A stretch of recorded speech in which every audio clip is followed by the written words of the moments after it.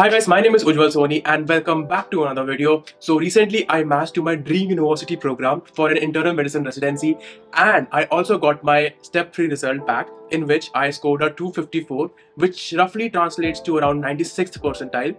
So I'm here to tell you everything that you need to know about this exam and how you can ace it. Starting with the basics, so step 3 is a two-day exam.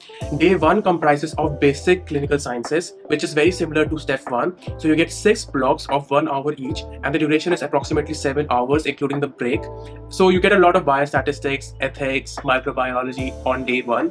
And on day 2, you get more of clinical sciences, more similar to step 2. You get 6 blocks of 45 minutes each and you get 13 CCS cases. So you get approximately 9 hours to finish your day 2. Putting the basics aside, let's talk about the resources.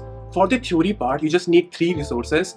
One is the first aid for your step 1. Second is your step 2 notes or your step 2 prep material, whatever you have made during your step 2 prep. And third is the subscription for ccscases.com.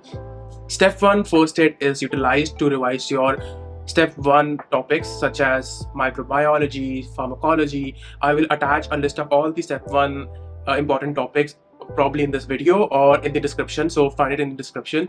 And besides that, the step three exam is an exact copy of step two. So use your step two notes or prep material to revise everything and you just need that knowledge. You don't need any additional knowledge for step 3 as per se.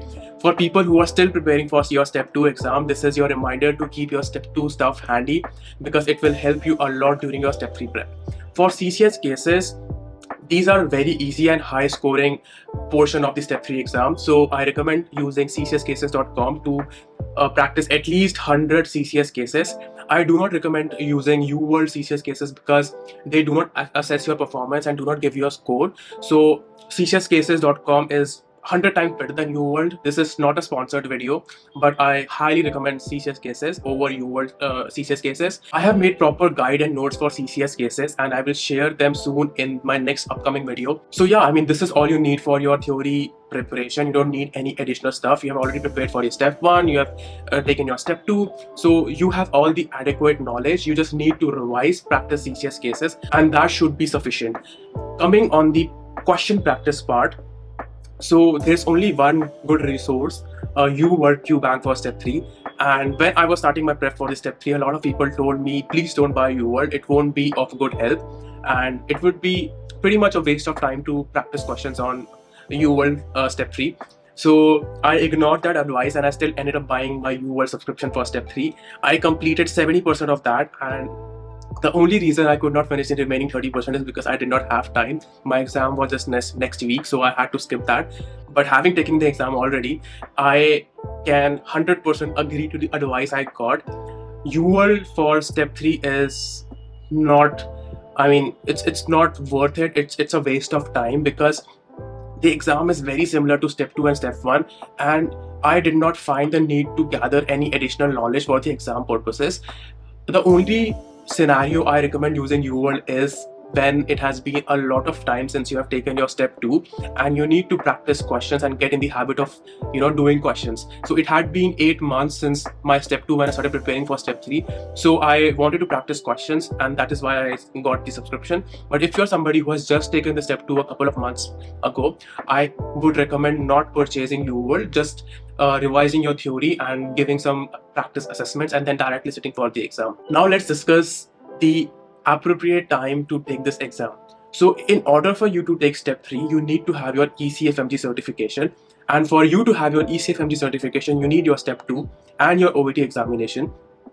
When you complete these two requirements, you apply for ECFMG uh, certification for which the pathway is open somewhere in June every year and it takes approximately 15 days for your certificate to come. Once you have your certificate number and your certificate, you can start the process to apply to step 3 and book your date. You have to apply for the exam on fsmb.org and it hardly takes 15 days for you to register and get approved and book your date. So like I just said, step 3 is very similar to step 2. So the ideal time to take this exam is as soon as after the step 2 examination because you will not have to revise all those things again and it would be very easy for you to you know just go through this stuff. I would highly recommend taking your step 3 exam before submitting your application in september.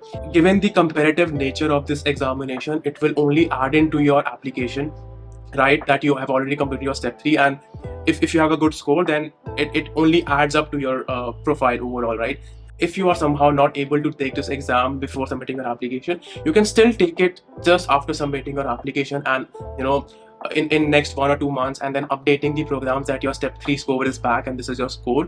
This will again help you know to uh, improve your profile and also it will give you an option to opt for h1b later on if you want it right? So it is advisable to take it during your application period and best to take it before your application period personally i was not able to take this exam uh, during my before submitting my application because my rotations were very hectic. You know you i was working uh, going to work very early on in the morning and then i was coming late afternoons. And even after coming back i was either preparing food for myself doing some random chores or preparing some presentation or talk for the next day. And this is very standard. I mean all of my colleagues had similar experiences and usc can get pretty hectic. So it is important for you to keep this in mind and strategize properly try and you know include a gap of a couple of weeks for you to prepare dedicatedly for step 3 and take it before submitting your application. This is the best gift that you can give it to yourself during this journey honestly. Now coming on to the preparation time the preparation time really varies depending upon when you have taken a step 2 uh, if you have taken it recently, the revision would be quicker and you will be able to take the exam sooner. For me, it had been eight months, like I said, so it took me eight weeks for to to put myself in the study mode and prepare for this exam.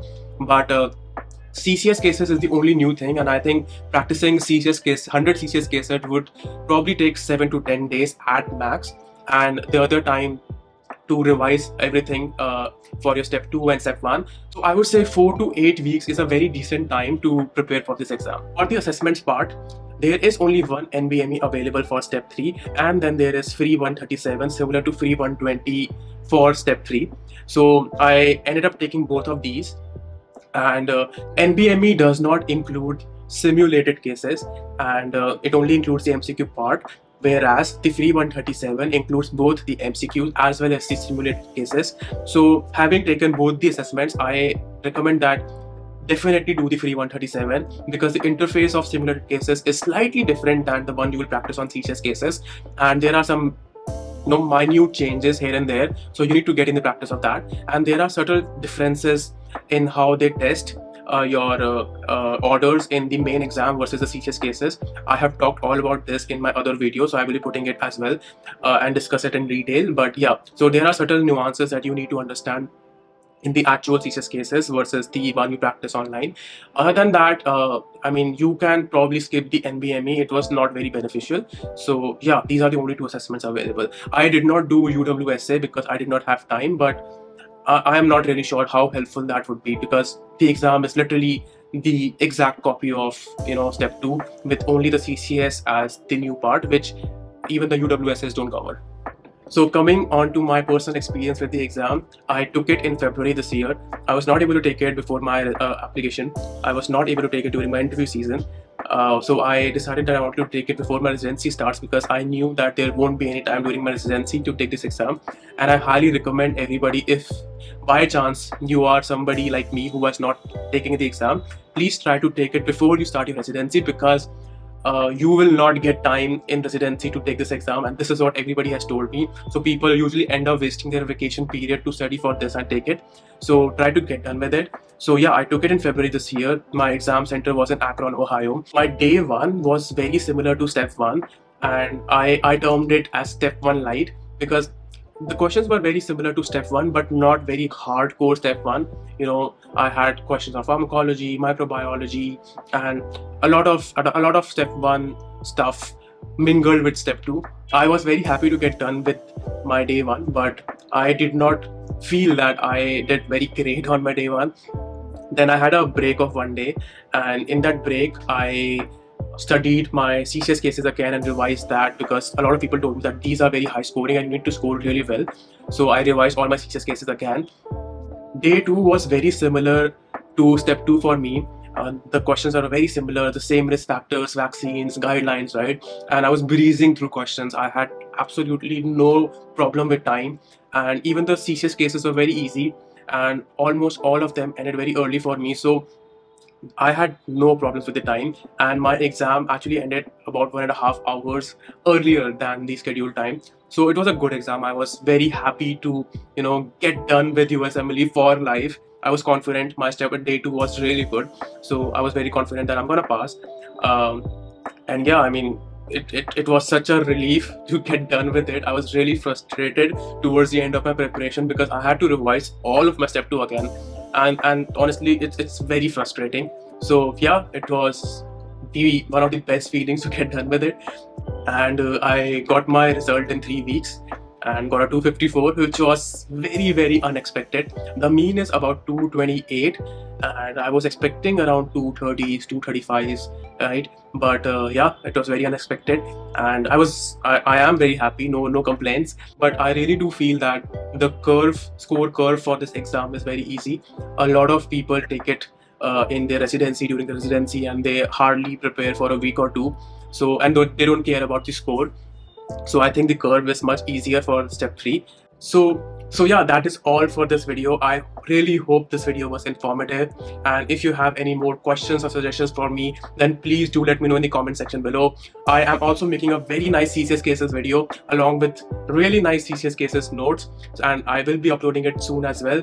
Please do let me know if you want me to make any other videos. I also have a vlog coming up with someone from the USMLE community so make sure to check that out. And if you are here, please consider subscribing. That would really motivate me to put out more informative videos. And thank you for watching this video. I shall see you in the next one.